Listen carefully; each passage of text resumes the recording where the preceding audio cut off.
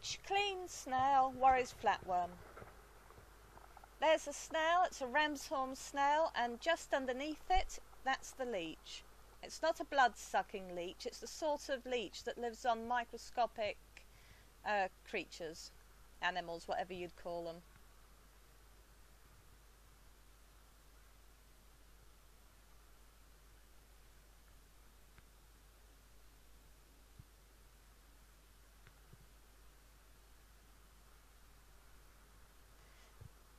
Watching this, I'm trying to work out to what extent that snail is just moving around and to what extent it's reacting, if at all, to what the leech is doing.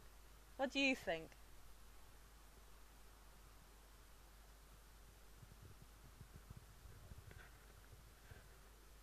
The shadows are caused by duckweed on the top of the pond, on the surface. Oh, that is a water louse. It's actually a not a baby, but a half-grown one that just ran by.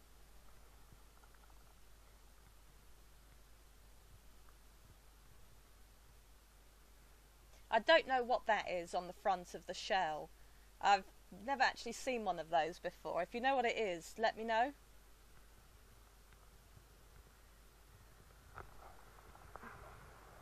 That's a flatworm in the background.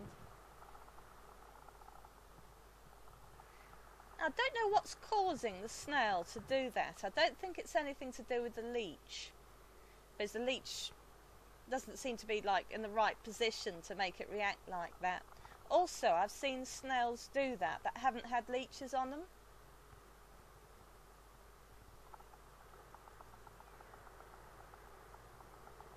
That duckweed's a right nuisance when you're trying to film. It gets stuck on the front of the camera. Let me just clean it off. There we go. Oop, frighten that one away. Now where's the leech? It's still there.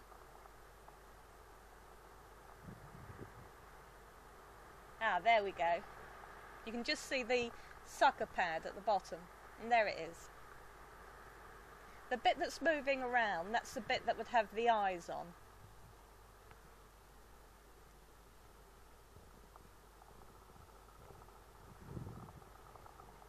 And off it goes.